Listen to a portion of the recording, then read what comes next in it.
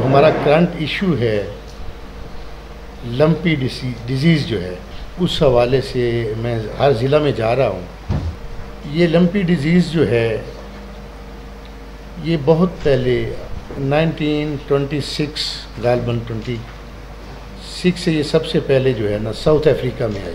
पाकिस्तान में इसका पड़ाव जो है फ़र्स्ट टाइम ये फ़र्स्ट टाइम डिज़ीज़ आई है पाकिस्तान में। होना तो ऑनेस्टली ये चाहिए था कि जब इसका पहला केस सिंध में हुआ तो हमें चाहिए था कि इकदाम उस वक्त कर लेते। अनफॉर्चुनेटली जब ये रिपोर्ट हुआ केस तो उस वक्त हमारी गवर्नमेंट नहीं थी। पीएमएलएन की गवर्नमेंट थी। उन्होंने इस पे ये मैं ऑनेस्टली आपसे बात कर रहा हूँ कि मैं यहाँ कोई पॉइंट स्कोरिंग करने नहीं आया। ऑनेस्टली अगर उन तीन चार माह में काम हो जाता तो हमारे जानवर इतने हलाक ना होते। क्योंकि हम चार माह हाथ पे हाथ रख के बैठे रहे हैं। इस पे कोई काम भी नहीं हुआ। जो ही अल्लाह ताला की मेहरबानी से दोबारा हम आए हैं तो आज आज मुझे एक माह हुआ है, ओथ लिए हुए। तो ये मेरा सातवां कि आठवां डिस्ट्रिक्ट है। तो मैं कर रहा हूँ। जो हमारे पास मौजूदा मेडिसन या वैक्सीन थी, वो हमने स्टार्ट करवा दी थी। क्योंकि इस, ये जस्ट लाइक एक करोना है। आपको याद होगा जब एक करोना आया तो उस वक्त एक पैनिक क्रिएट हुआ कि हम तमाम लोग आप समेत आइसोलेट हो गए। तो ये वायरल डिज़ीज़ जो है ये जस्ट लाइक कोरोना है। और ये शॉर्ट टर्म डिज़ीज़ नहीं है, ये लॉन्ग टर्म है इनके साथ हमने ऐसे लड़ना है जैसे कोरोना के साथ लड़ना है। जैसे लड़े। हैं और ये क्रेडिट पाकिस्तान तहरीक इंसाफ की गवर्नमेंट को जाता है कि पूरी दुनिया में हमारी पॉलिसीज़ को सराहा गया।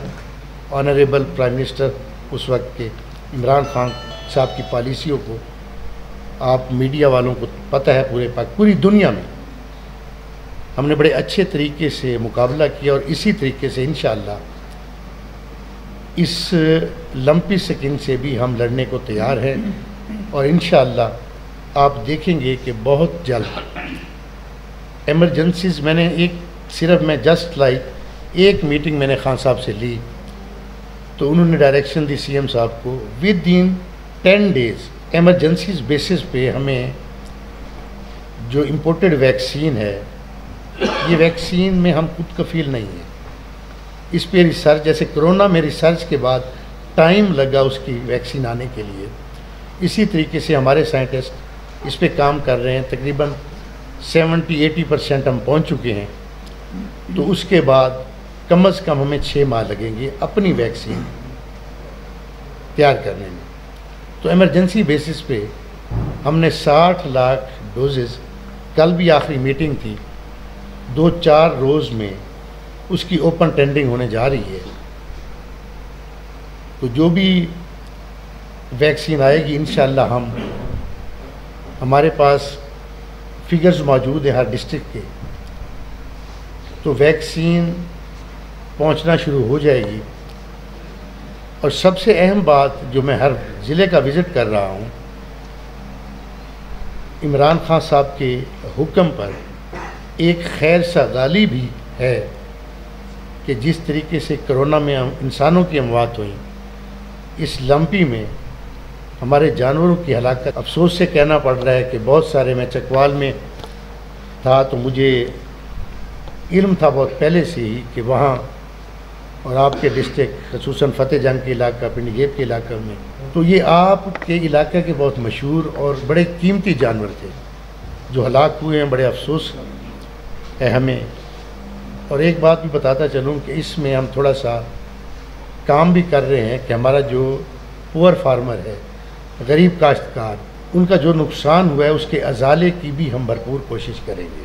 और एक बात और, आज लाइफ स्टाक बतौर लाइफ स्टाक मिनिस्टर मैं ये भी आपको बताना चाहता हूँ कि हमारी पॉलिसी इन पचहत्तर सालों में लाइफ स्टॉक पॉलिसी भी नहीं थी। ये एक महीने के, क्योंकि हमारे पिछले ऑनरेबल मिनिस्टर साहब ने काफ़ी काम किया इस इस पे।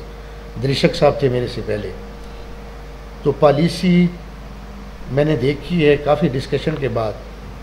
हम पॉलिसी भी इन कैबिनेट में लेकर जा रहे हैं कि जो भी हुकूमत आए उसमें हम एक पैरामीटर तय कर देंगे। इनके लाइफ स्टाक के जो भी मसाइल हैं, या लॉन्ग टर्म जो भी पॉलिसीज़ हों, जो भी हुकूमत आए, वो उस पॉलिसी पे अमल पैरा हो। यही क्वेश्चन मुझ पर हर जगह होते रहे हैं। एक तो जैसे मैंने बताया ना, यही कोई किसी की साजिश नहीं थी। ये डिज़ीज़ यूरोप में भी आ चुकी है, अमेरिका में भी आ चुकी है। ये अभी तक इंडिया में बर्मा श्रीलंका, नेपाल, यूरोप में जब ये आई, बुखारी साहब अक्सर यूरोप जाते रहते हैं, इनको पता होगा कि उन्होंने तमाम जानवर को एकदम इकट्ठा कर, करके मार दिया था और गाड़ दिया था। यानी कि जड़ से ख़त्म कर दिया था जानवरों को। हम तरक्की पजीर मालिक हैं, हम ये अफोर्ड नहीं कर सकते। जैसे हमें कहा गया, मुख्तलिफ़ सूबों से इमरान खान साहब को कहा गया कि लॉकडाउन करें। तो हमने अपनी इकानमी को भी देखना था। हमने लॉकडाउन आहिस्ता आहिस्ता किया। और अल्लाह ताला की मेहरबानी, हमारी इकानमी भी कोलेप्स नहीं हुई और कंट्रोल भी कोरोना हो गया इसी तरीके से मैं फिर आप कहेंगे कि मैं रिपीट कर रहा हूँ कि जो गैप आया है तीन चार माह का हमारे से। हमारे से गवर्नमेंट ले ली गई पीएमएलएन की गवर्नमेंट आ गई। तो वो हाथ पे हाथ रख कर बैठे रहे। ये डिज़ीज़ भी फैलती रही और उन्होंने, मैं ऑनेस्टली आज आपको बता सकता हूँ कि एक डीजी मेरे साथ हैं एक्सटेंशन मैंने इस पे पता नहीं कई मीटिंग्स कर चुका हूँ। इनको एक मीटिंग में भी, इनकी मीटिंग नहीं की गई। लंपी पहले सिंध से साउथ में आई, साउथ से सेंटर में आई, सेंटर से फिर नॉर्थ में आई आपके पास। इवन सिंगल एक मीटिंग भी नहीं की गई। तो दूसरी बात ये है कि हमें अब हर सब एक डेढ़ माह हुआ है हमारी हुकूमत को तो हमने इतना तेज़ी से काम शुरू किया हुआ है इस पर कि हर हम पहलू पे जा रहे हैं। आज मेरा फ़र्स्ट विज़िट है।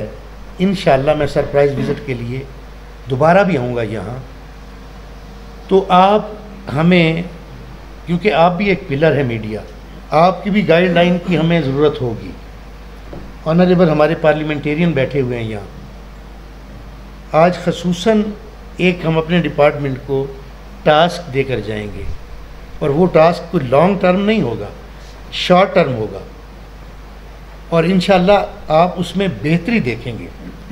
रही बात, ये क्वेश्चन हर जगह आ रहा है कि मैंने जैसे कहा कि 1929 में ये बीमारी आई और आज तक पूरी दुनिया में ये कहीं भी मिसाल सामने नहीं आई कि ये वायरस जानवर से गोश्त के ज़रिए या दूध के ज़रिए ट्रांसफ़र हुआ इंसानों में। ये एक भी केस पूरी दुनिया में नहीं आया। अगर ये वैसे सोशल मीडिया पे मैंने भी देखी हैं, जो इस लंपी डिज़ीज़ से इफ़ेक्ट हुआ है हमारा जानवर खसूस ये कैटल में आई है गौ में। तो उसके गोश्त खाने से, दूध पीने से ये वायरस इंसान में ट्रांसफ़र नहीं होता। ये गोश्त भी खा सकते हैं और दूध भी पी सकते हैं। कि चार माह की हुकूमत ने एक मीटिंग की तकलीफ़ नहीं की। ये मैं मानता हूँ कि डिपार्टमेंट सोया हुआ था।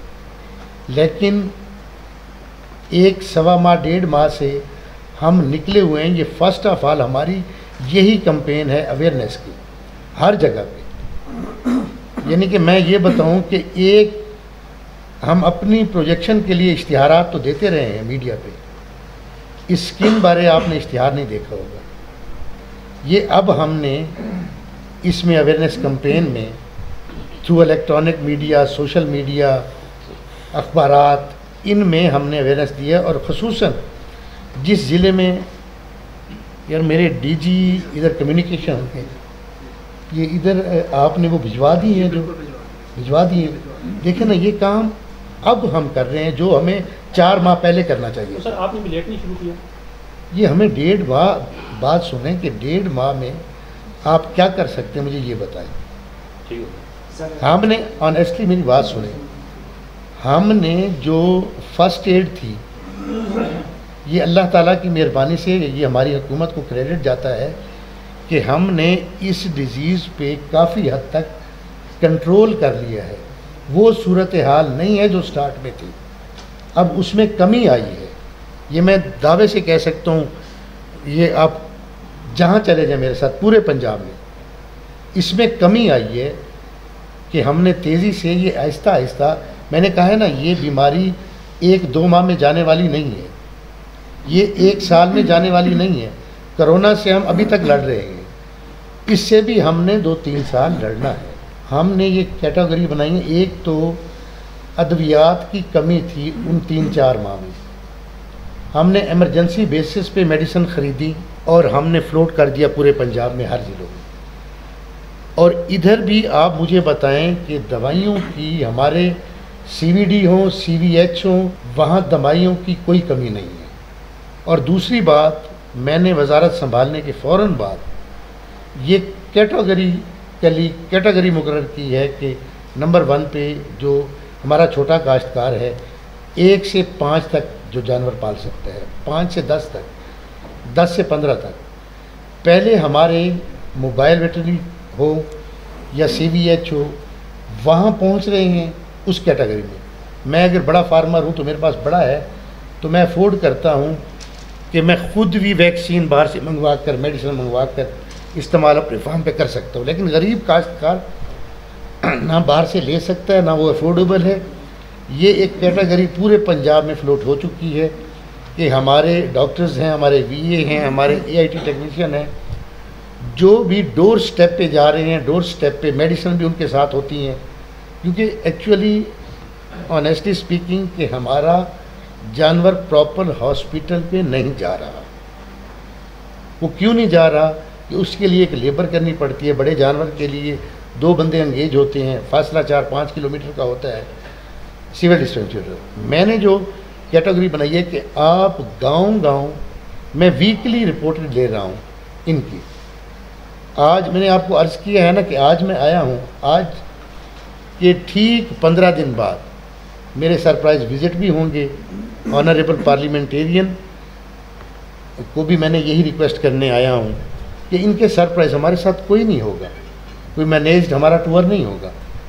हम डोर स्टेप पर जाकर पूछेंगे कि आपके पास कोई आया है या नहीं आया। तो इन इसमें आप देखेंगे, आज पहला दिन है मेरा अटक में। तो मुझे अंदाज़ा है इसका तो इन आप देखेंगे इसमें बेहतरी आएगी। एक दफ़ा इसका पीरियड है जैसे कोरोना में एक डोज लगती थी तो गालबन तीन तीन माह तीन माह इसका पीरियड है छः से आठ माह तक। ये पहली डोज लगने के बाद क्योंकि इस पर क्योंकि हम ये भाई ने बड़ा अच्छा सवाल किया मैं ये जवाब देने के लिए कि हमने वैक्सीन भी ओपन ट्रेंडिंग में देखनी थी। आजकल मुल्क के हालात ये हैं कि वैक्सीन जेली भी बन रही हैं। और हमारे यहाँ बन रही हैं। कि उसका आउटपुट भी लेना है हमने कि उसकी इम्यूनिटी को बरकरार रखने के लिए हमें टाइम कितना चाहिए। ये 10 से 15 दिन में इस वैक्सीन के बाद इम्यूनिटी आना शुरू हो जाएगी और इसका पीरियड होगा छः से आठ माह।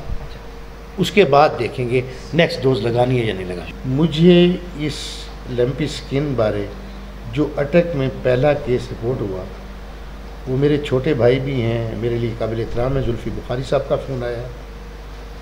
और उसी दिन मैंने अपना नंबर, अपना ज़ाती नंबर, जो मेरे पास होता है, जो मैं खुद सुनता हूँ, मेरा सेक्टी नहीं सुनता, वो मैंने डिस्प्ले करवा दिया उसी वक्त, पूरे पंजाब में। मुझे पूरे पंजाब से खुद काले आई। मेरे साथ एक मेरा स्टाफ अफसर होता था। मैं जिस जगह था जहाँ था, मैं आपके अटक की चार मिसालें दे सकता हूँ कि जो कंप्लेंट अटक से आती थी, मेरा डिपार्टमेंट लंबा सफ़र हो तो एक घंटा लग जाए, वरना आध घंटे बाद वो वहीं पहुँचा है। वहीं उसने ट्रीटमेंट किया है। ट्रीटमेंट करने के बाद वही पिक्स मुझे भेजी हैं और मैंने रिंग बैक किया है उस जिसने कंप्लेंट की थी मुझे। तो उन्होंने कहा, जी, बिल्कुल पहुँचे इमरजेंसी बेसिस पे जो कुछ हमसे हो रहा है, हम कर रहे हैं। और अल्लाह ताला ये सब कुछ, ये आफात अब मेरे इलाके में, लिया में, डेरा गाजी खां में, राजनपुर में, फ्लड ने बहुत तबाही की है। और सिंध आप देख हैं खैबर पख्तूनख्वा आपके साथ है, आपने देखा है, ये ऐसी चीज़ें अल्लाह ताला की तरफ़ से आती हैं और अल्लाह ताला ही इसको फिर संभालता है। हमारी तो होती है कोशिश और इन पाकिस्तान तहरीक इंसाफ की गवर्नमेंट की भरपूर कोशिश होगी कि जल्द अज जल्द वैक्सीन भी आए और जल्द अज जल्द इस बीमारी पे कंट्रोल मैं ये कह चुका हूँ कि हम इस पे काम कर रहे हैं कि हमारा जो समाल छोटा काश्तकार है, जो एक से दो तीन जानवर रखता था, उनकी जमा पूंजी हुई थी, उस पे मैंने डिपार्टमेंट ने कहा है कि डेटा कलेक्ट करें।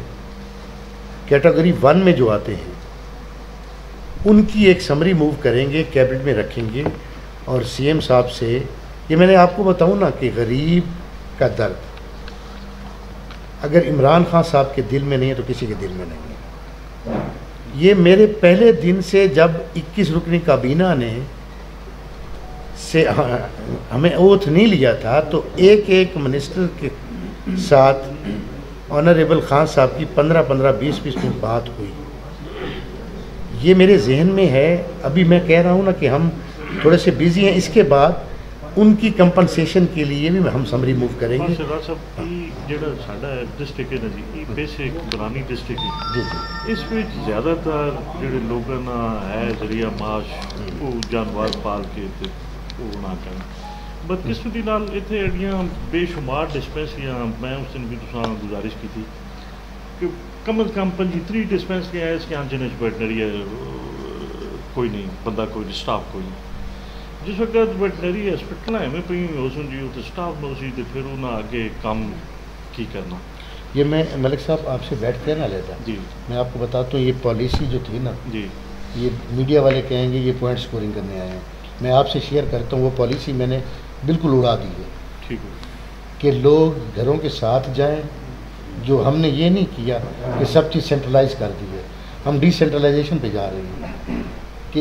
एक बंदा जो घर के नज़दीक जाना चाहे वो काम भी करेगा सारा एक बंदे हमारे डिपार्टमेंट में अटक का है तो वो खड़ा है रहीम यार खान ना वो काम करता है और बैठा घर है काम ही नहीं करता। हम फैसिलिटेट कर रहे हैं ये पॉलिसी आपको बताता हूँ। Thank you very much